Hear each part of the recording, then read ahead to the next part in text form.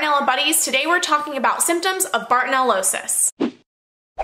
Most people have never heard of Bartonella, and most physicians have only heard of a few strains. Bartonella henselae is the strain of the bacteria that causes cat scratch disease or fever. Cat scratch fever.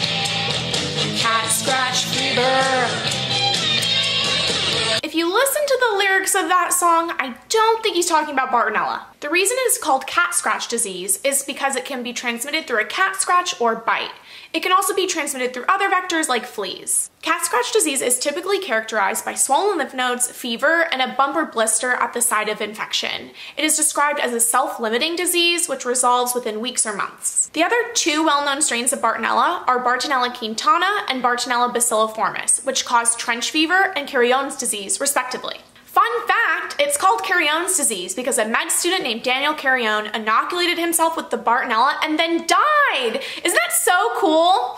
I want something named after me. And while these are the disease manifestations that physicians are familiar with, relatively recent research shows that Bartonella can cause a chronic relapsing bacteremia and a vast array of chronic symptoms that can range from mild to debilitating. Because physicians have been taught that cat scratch disease is self-limiting, researchers are moving away from this term and towards the more inclusive term Bartonellosis. I know that in previous videos I say I have Bartonella, but technically I have Bartonellosis. So I'm gonna make the switch over to saying I have Bartonellosis. But I'm keeping the name Bartonella Babe because it has a much better ring to it than Bartonellosis babe. Duh! Some people with Bartonellosis have a few subclinical mild symptoms. Some people have a lot of mild symptoms. Some people have a few really bad symptoms like me, and some people have a lot of really bad symptoms. And while Bartonella has been shown to cause life-threatening illnesses such as endocarditis, today I want to focus on the chronic pain in the ass symptoms, sometimes literally, right now I'm sitting on a heating pad, that for most people prior to getting a diagnosis are mysterious and scary.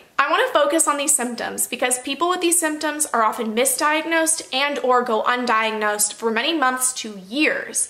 And B, some of these symptoms are not visible, nor can they be proven with tests and are sometimes labeled as psychosomatic. Research on human Bartonella infections over the past 15 years or so shows that that bacteria can cause a variety of rheumatological, neurological, psychiatric, ocular, and nonspecific symptoms such as fatigue and headaches. And instead of just listing every single symptom that Bartonella can cause, which is nearly innumerable, I thought it would be more persuasive if I did a mini overview of what the scientific literature says. One of the main goals of this channel is to have Bartonella recognized by scientists, doctors, and the general public as a major contributor to chronic debilitating disease. Maybe you'd want to send this to one of your doctors who doesn't believe you, yet. I always put a few links to journal articles in the video description down below, but for this video, I'm going to put the link to every journal article I reference so you can evaluate the literature yourself. I have done my best to select high quality research. Because remember, just because you found it on PubMed doesn't mean it's good research. So let's start with rheumatological symptoms. In 2005, scientists in Israel studied 841 laboratory confirmed cases of cat scratch disease, link number one down below. 2.9% of these patients went on to develop rheumatoid factor negative arthropathy that was often disabling. Although this is a small percentage, 69 patients were excluded from the study that had poorly defined musculoskeletal complaints. Then, using the same data, a 2007 study, link number two, published in the journal Clinical Infectious Diseases, found that 10% of people with laboratory confirmed cat scratch disease went on to develop musculoskeletal manifestations, including myalgia, arthritis, arthralgia, tendonitis, osteomyelitis, and neuralgia. Whew, Although most patients recovered from these symptoms, 6% developed a chronic condition. Now the next study, Link 3, was the first study I found where I went, OMG, and flashing lights went off saying maybe I have Bartonellosis. This study was published in Emerging Infectious Diseases, an open access journal published by the CDC. In 2012, a rheumatologist examined 296 patients for Bartonella. These patients were diagnosed with things like Lyme disease and fibromyalgia. And I was like, hey, I was diagnosed with fibromyalgia, but maybe I was misdiagnosed and I actually have Bartonella. Osis, Bartonellosis. So these patients were tested with IFA serology and ePCR. Even though serology cannot definitively indicate whether an infection is active, 62.5% of the patients were seroreactive to Bartonella antigens, which was a huge finding. What was even huger was that 41% of these patients were found to be bacteremic with Bartonella through ePCR. This means that they found Bartonella bacteria in the blood of 41% of these patients. Wowzer! For more on rheumatological symptoms, see articles 4 and 5 down below. In another study published in Emerging Infectious Diseases, Bartonella was detected by ePCR in the blood of 14 people with occupational animal contact, like veterinarians. The most common symptoms these people reported were fatigue, myalgia, and arthralgia, as well as headache, memory loss, ataxia, and paresthesia, which brings me to my next category, neurological symptoms. A 2008 study documented Bartonella bacteremia in six patients with frequent animal exposure or recent arthropod exposure. These patients suffered from a variety of neurological and neurocognitive symptoms, including seizures, disorientation, migraines, paresis, and tremors. One of the patients, a veterinarian, was previously diagnosed with multiple sclerosis, and his symptoms progressed to the point where he could not walk unaided.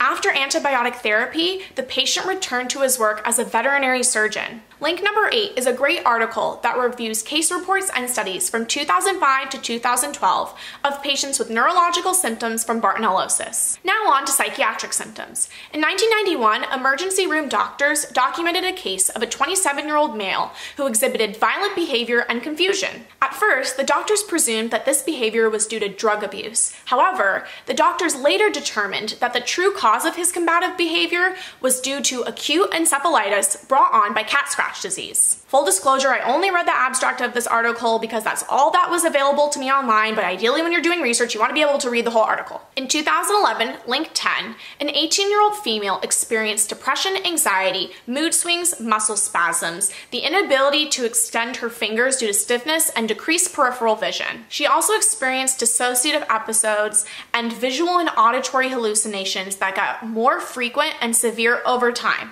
terrifying. She was found to be bacteremic with Bartonella koehlerae. After antibiotic therapy, the patient's hallucinations ceased, and her other symptoms returned to her pre-infection baseline. Finally, I want to address ocular manifestations of Bartonellosis. In a 2011 study, Link 11, scientists in a 2011 study, Link 11, published in Clinical Ophthalmology, scientists studied eight patients with ocular Bartonellosis. The most common eye abnormality was uveitis, followed by several other very serious itises. Uveitis is inflammation of the uvea, which is the middle layer of the eye wall, and it can cause redness of the eye, light sensitivity, pain, and floaters. One patient had neuroretinitis, which is inflammation of the optic nerve head, which can cause one to see odd shapes and colors and can cause sudden complete vision loss, also terrifying. Interestingly, most of these patients did not present with typical cat scratch disease. This study has a great literature review, and a literature review is a summary of pertinent scientific journal articles. You can also visit link 12 for a blog post from Galaxy Diagnostics for more information on how Bartonella can affect the eye. High quality research on human Bartonellosis has been mounting,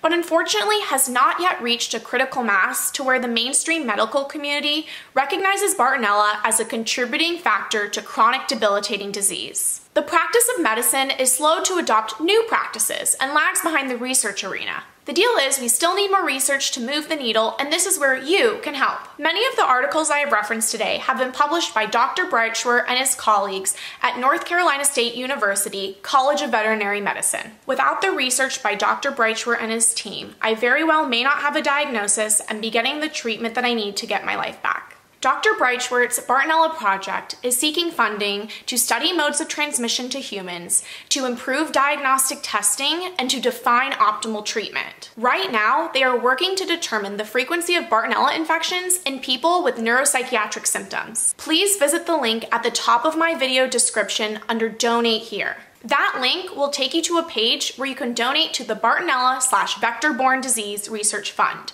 You can choose to give a one-time gift or a sustaining gift. On the bottom of the next page in the field other gift comments, please indicate that you were referred by me by typing referred by Bartonella Babe or referred by Jake Picker. This way I can track how effective my fundraising efforts are.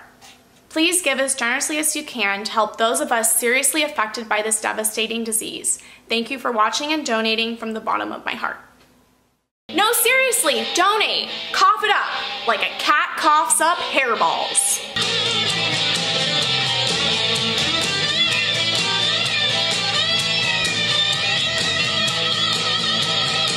People with these symptoms are often misdiagnosed. Misdiagnosed? Missed. Psh, psh, missed. Diagnosed. misdiagnosed.